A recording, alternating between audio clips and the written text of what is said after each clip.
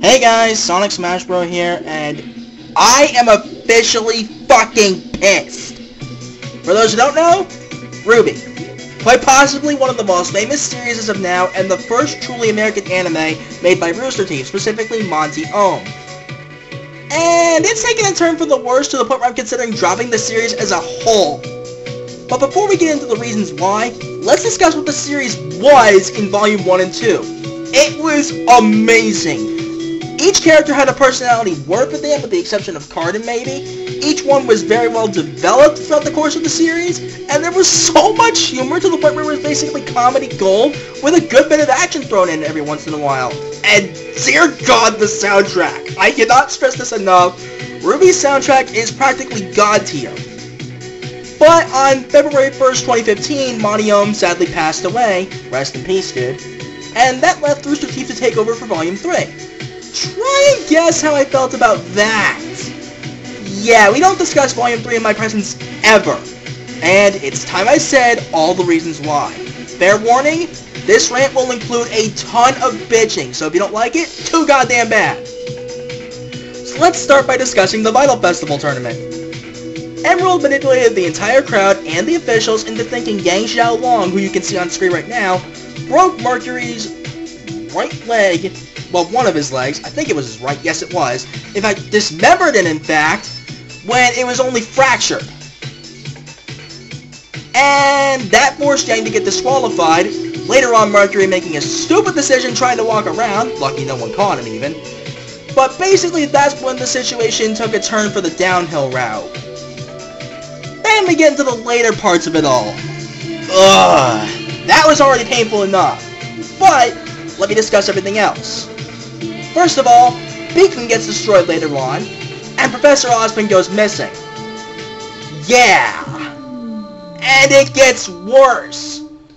Later on, Pyrrha another favorite of mine, ends up killing Penny.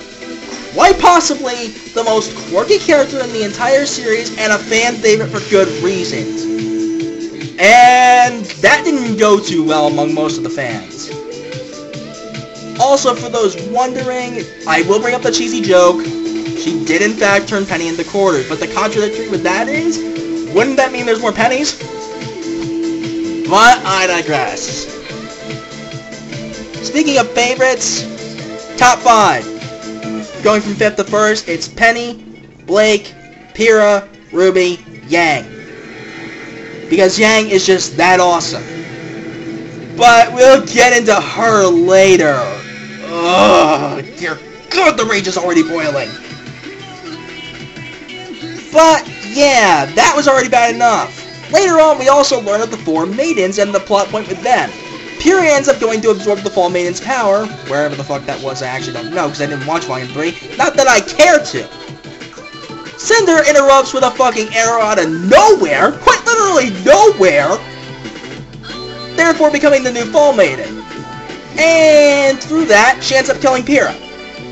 Yes! Cinder Fall killed Pyrrha Nikos, quite possibly the most important character in Jaune's development. And Ruby's reaction summed up everybody, myself included, perfectly. She was fucking pissed! To the point where she did not only a good number on Cinder, but flat out wanted to kill her practically. Myself included in that respect, because you do not kill Pyrrha. To that end, you don't kill important characters in general. Yeah, I know Game of Thrones did the exact same thing, but I did not have the shielding of Game of Thrones, okay, people? But that's not even the worst of it! Volume 3 brought back a character from one of the four trailers, Adam Taurus, specifically from the Black trailer. This asshole has no sympathy for human life at all. In fact, during the Black trailer, and I quote, when he was going to set the detonator charges, Blake was worried about the crew members. His response? What about them? He didn't even give a fuck. So if that wasn't enough, if Pyrrha and Penny's death wasn't enough, if the fact that Beacon got destroyed wasn't enough, if the fact that Ozpin went missing wasn't enough, Adam ends up cutting off Yang's right arm. I'm not fucking kidding. He cut off Yang's right arm. that was a bit too much on Blake, and she went off who the fuck knows where. Weiss was forced to go back with her asshole father, also part of a lighting issue there, there we go. And yes, her father is a total asshole. And on top of all of that, they basically ruined Yang's character and her personality. What was she originally? A fucking thrill seeker with a love for fighting just for the hell of it, more so for the thrill of it, and she was full of puns left and right, always caring for her little sister and the rest of Team RWBY as a whole. Then, when she gets her right arm cut off by Adam, fuck you, you bloody bastard. And by bloody bastard, I mean Adam. Fuck you, Adam. Fuck you! Basically, that was the tipping point for me. Because she went from thrill seeker with puns to bitch face like leave me the fuck alone. And then we get to her Volume 4 design, which was leaked about a month ago, but I'm a little late to the party. I am not fucking happy. Once again, her arm is still missing, which is to be expected to be fair, but her personality seems like it's taking a turn for the I don't want to fucking be here anymore route. Just, why?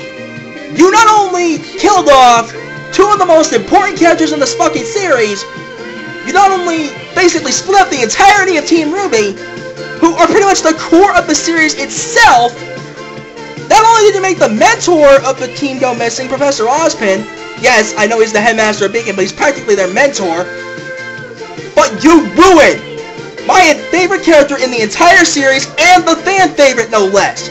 You ruined Yang Xiaolong's character!